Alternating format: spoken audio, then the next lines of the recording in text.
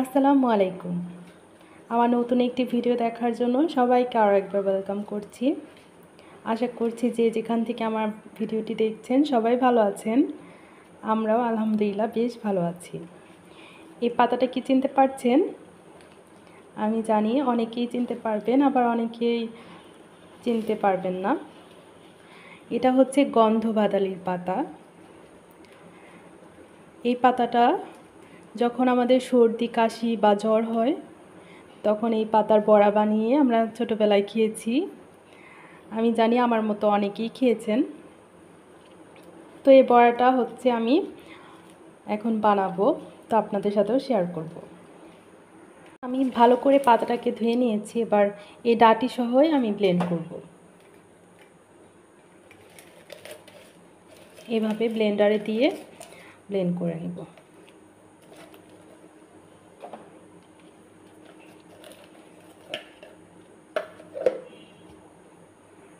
এখানে আমার ব্লেন্ড করা হয়ে গেছে। একটু পানি দিয়েছিলাম। পানি দিয়েছি আর হচ্ছে আমি এখানে মরিচ আর রসুন দিয়েছিলাম। একসাথে ব্লেন্ড করে নিলাম। একটু এই জন্য পানি পানি হয়ে গেছে। কোনো সমস্যা নেই, আমি এখানে চালের গুঁড়ো দিয়ে দিব। চালের গুঁড়া আর হচ্ছে একটু বেসন দিব। এমনিতে এই বড়াতে হচ্ছে ডাল বাটা দিলে ভালো হয়। কিন্তু আমি যেহেতু খুবই অল্প সময়ের মধ্যে বানাচ্ছি, ডালটা আমি ভেজাতে পারিনি, তার জন্য আমি চালের গুঁড়া আর বেসন দিয়েই এই বড়াটা বানাবো আজকে। এভাবেও ভালোই হবে, খারাপ হবে না। আমি দিয়ে দেব বেসন। আপনারা ডালের বাটা ইউজ করবেন, তাহলে বেশি মজা লাগবে। বেসন দিয়ে দিলাম তিন চামচ। এবার দিব এবার দিব হচ্ছে চালের গুঁড়া।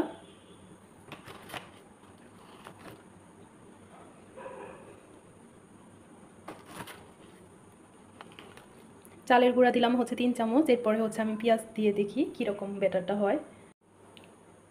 তো আমি এবার পেঁয়াজ দিয়ে দিব। এই বড়াতে পেঁয়াজের পরিমাণ যত বেশি হবে ততই মজা লাগবে। এবার আমি একে একে সব মশলাগুলো দিয়ে দিব। দিয়ে দিলাম মরিচের গুঁড়া। দিয়ে দিব হাফ চামচ হলুদের গুঁড়া।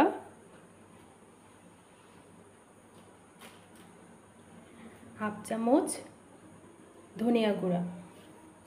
দিয়ে দিব হাফ চামচ জিরা গুঁড়া। দিয়ে দিব পরিমাণ মতো লবণ। লবণটা দিয়ে এবার মাখিয়ে নিব।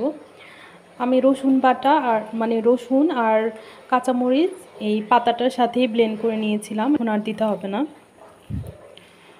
আমি এবার ভালো করে মাখিয়ে নিয়েছি। এবার বড়াগুলো ভেজে নিব।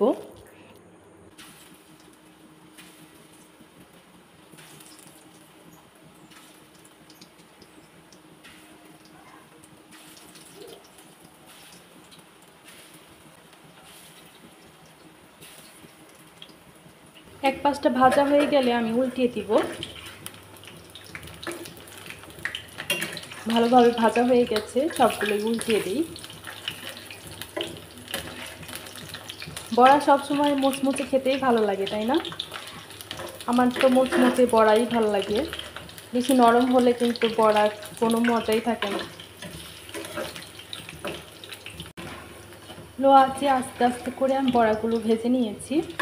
এখন মনে হচ্ছে বড়াগুলো হয়ে গেছে। এই পাতার বড়াটা কালচে কালচে হয় একদম, কালো কালো, বোঝা যায় না। তো অল্প আছে, ভালো করে ভেজে নিতে হবে, না হলে কিন্তু আবার কাঁচা কাঁচা থেকে যাবে ভেতরে। আবার বেশি ভাজাও যাবে না, তাহলে কিন্তু আবার পুড়ে যাবে। তো আমার বড়াগুলো ভাজা হয়ে গেছে, এবার তুলে নিচ্ছি।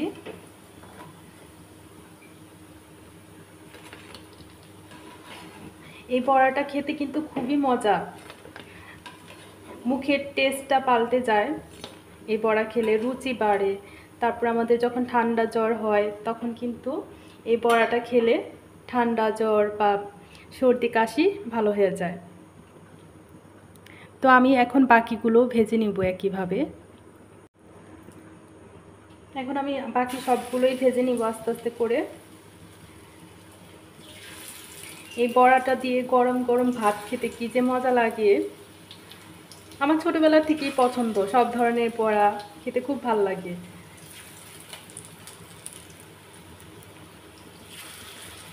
বিশেষ করে এই ধরনের মানে পাতার বড়া খেতে কিন্তু খুব মজা আর স্বাস্থ্যকরও। কারণ উপকার আছে তো, ঠান্ডা জ্বর হলে এই পাতার বড়া খেলে কিন্তু ঠান্ডা জ্বর ভালো হয়ে যায়, মুখের টেস্টটাও ভালো হয়ে যায়। অনেক সময় আছে না যে জ্বর হলে খাওয়া যায় না, রুচি চলে যায়। এটা দিয়ে ভাত খেলে রুচি আসে মুখে। বাচ্চাদেরও কিন্তু খাওয়াতে পারেন। খুবই ভালো। বাকিগুলোও দিয়ে দিয়েছি।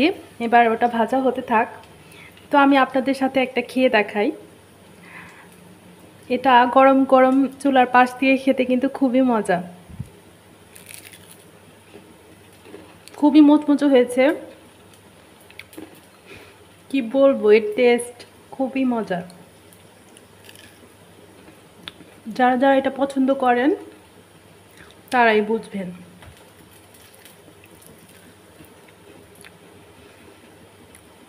গরম গরম চুলার পাশ থেকে খেতে অন্যরকমই মজা লাগে।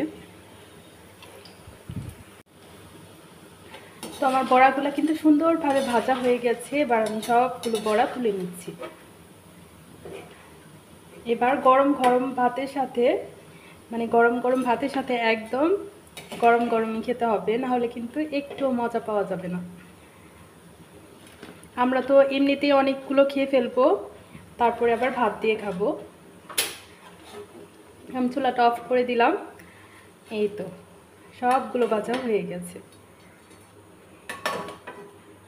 এই তো। দেখতে পাচ্ছেন, খুবই লোভনীয় না? আমার তো খুবই পছন্দ। তো বাজারে তো এখন এই পাতা সব জায়গায়ই পাওয়া যায়। গন্ধ ভাতালির পাতা বা গন্ধ পাতা আপনারা কিনে নিয়ে এসে এভাবে বড়া বানিয়ে খাবেন। আর যাদের বাড়ির পাশে আছে, তাদের তো কোনো সমস্যাই হবে না। বাড়ির পাশ থেকে তুলে তারপরে হচ্ছে খেতে পারবেন এভাবে বড়া বানিয়ে। তো আমরা এখন খাই গরম গরম। আশা করছি ভিডিওটি ভালো লেগেছে। ভিডিওটি ভালো লাগলে প্লিজ লাইক করতে ভুলবেন না। আজকের মতো তাহলে বিদায় নিয়ে নেই। আমার পরবর্তী ভিডিও দেখার আমন্ত্রণ রইল। ভালো থাকবেন। আসসালামু আলাইকুম।